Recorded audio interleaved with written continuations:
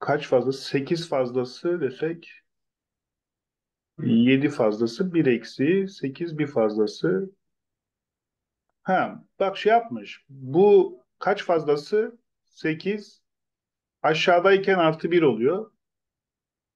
Bu 5, bu 7 fazlası yukarıdayken 7 eksi 1 oluyor. Anladın mı bak?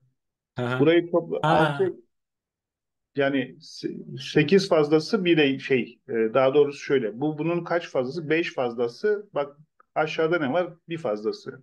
10 bir eksiği. Aşağıda olursa bir ekliyoruz. Yukarıda olursa bir bir eksiltiyoruz. He. Yani burası kaç? Tamam. 8 bu 9 olması gerekiyormuş. Tamam mı? Hı hı. Ee, bu kaç olacak? Tabii bu kendi içinde bir ilişki var mı? 9 6 6 9. Ha bu 9'u 12 bir şekilde buluyor mu acaba diye bakıyorum da.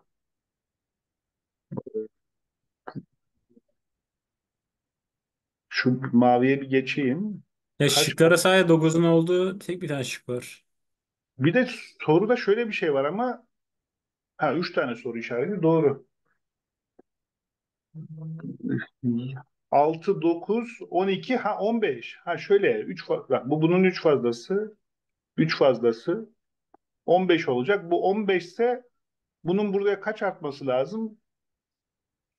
16 artması lazım değil mi? Evet, evet. O 16 artarsa ne olur? 89 95.